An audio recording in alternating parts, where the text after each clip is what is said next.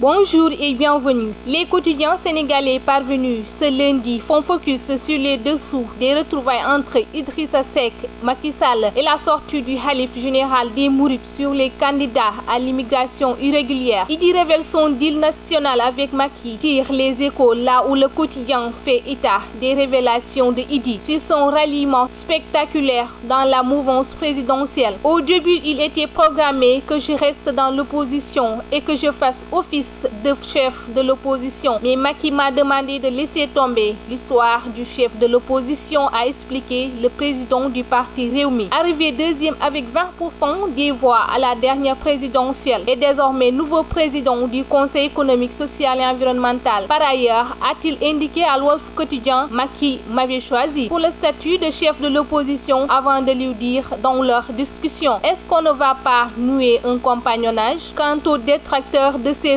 retrouvailles avec Macky Sall, avec lequel il a retrouvé la complicité, il déclare dans Libération et Le Soleil que ces derniers qui ne leur arrivent pas à la cheville ne parlent pas pour le Sénégal, mais pour leurs intérêts. Si l'ex-premier ministre de Ouad continue d'occuper l'actualité politique, l'observateur dévoile les secrets de la nouvelle vie de ses prédécesseurs et successeurs au poste de chef de gouvernement. Le journal abordant même les dessous de l'agitation politique de Khalifa Babakar Sall, l'ex-maire de Dakar. Enquête titre sur la sortie de Serigne Muntaha qui dit non à l'immigration dite clandestine avec ses conséquences macabres. Selon le journal, le Khalif des Mourides a donné hier le ndigal de ne plus prendre de pirogue l'Europe. Il y a un village qui a vu une vingtaine de morts, tous des Mourides, c'est tragique, a-t-il déploré. Ainsi, Touba sermonne les candidats au périlleux voyage, écrit l'AS, là où Vox Populi rapporte la fatwa du Khalif général des Mourides par ses propos en Wolof. Barça wala Barça c'est haram. Comprenez, tenter l'aventure occidentale par la mer ou la mort est un suicide. En football, la plupart des journaux se font l'écho de la qualification du Sénégal à la Cannes 2022. Pour Vox Populi, le Sénégal est la première nation qualifiée à cette compétition à deux journées de la fin des éliminatoires. Les Lions ont battu hier à Bissau les Djortis sur un but inscrit à la 82e minute par Sadio Mané. Le quotidien informe du coup que l'attaquant de Liverpool égale l'âge